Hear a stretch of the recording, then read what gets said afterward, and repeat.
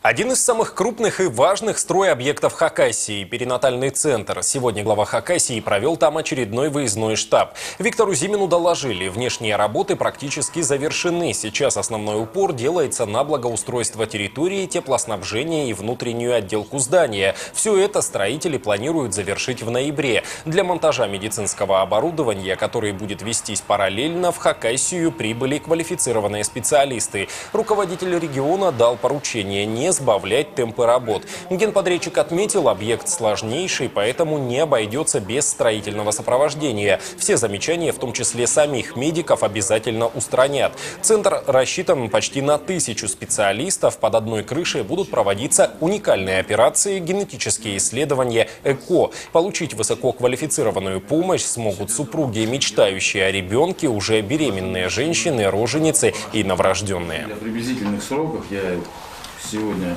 еще не уточняю.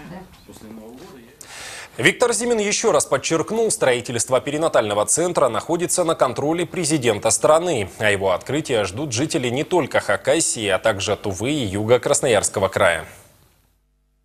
Мы приложили много сил, чтобы получить право на возведение перинатального центра. Вот на сегодняшний день выполнен серьезный объем работ по его строительству. И сейчас принципиальная задача в текущем году сдать объект в эксплуатацию. Другие варианты даже не рассматриваются. Мы работаем планово. Мы сделаем все для того, чтобы наши люди, специалисты, медики пришли и научились здесь работать. Узнали оборудование, вжились в него. Ну, потому что много нового, мы понимаем это. Хотя вы специалисты, я все это вижу. Но объект должен быть теплым, живым и готовым.